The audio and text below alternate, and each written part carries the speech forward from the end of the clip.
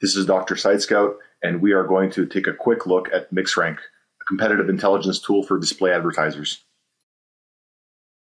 As an example, let's pretend that we are media buyers doing research for an auto insurance campaign. So let's begin with a search for auto insurance.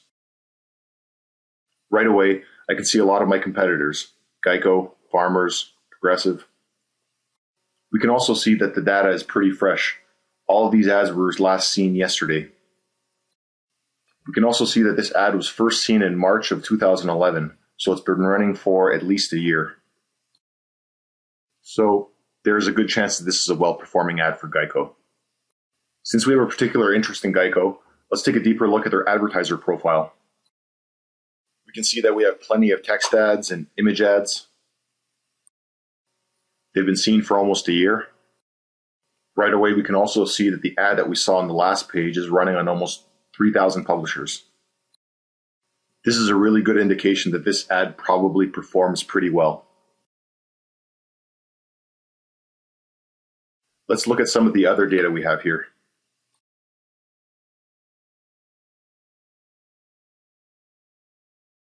In terms of reach, that ad has definitely been given more exposure in the last week, from what we can tell. This might have been a split test between these two ads, and this one might have been declared the winner and given more prominence in campaigns.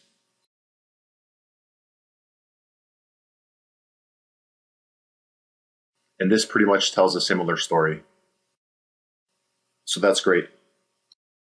If I was to create my own text ads, I would probably base them off of something similar since it seems to be working so well for Geico. I could also try to think of creative ways to improve upon it. Now, let's look at banner ads. We have plenty to look at here. Let's say I have a particular interest in the 300 by 250 size. Here I can see plenty of ads. Lots of flash. Lots of different variations.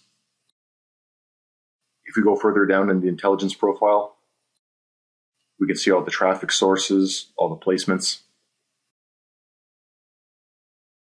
Right away, we can also see that in the last 30 days, Geico has been prominent on the following sites, among others. Let's say we want to dig deeper into a certain placement to see what other ads are running there or what other ads will be adjacent to our ads. We can look deeper into the publisher profile. So right away, I can see the rest of the competitors. Most of my competitors are here. Liberty Mutual, Progressive,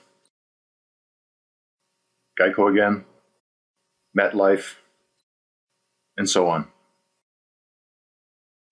So let's go to the beginning. We can see Progressive. They've been seen almost every day for the last two weeks, and it also has a high ad position. So for the most part, it's usually the first text ad unit in an AdSense group, which indicates a great CTR if they're running CPC campaigns. So this is probably a pretty good ad performance wise.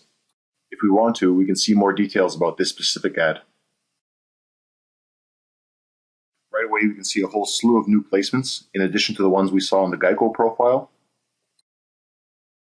So here you can easily see how competitive intelligence tool can make it much easier to build a media plan in terms of placements and figuring out a creative strategy based on the aggregated data.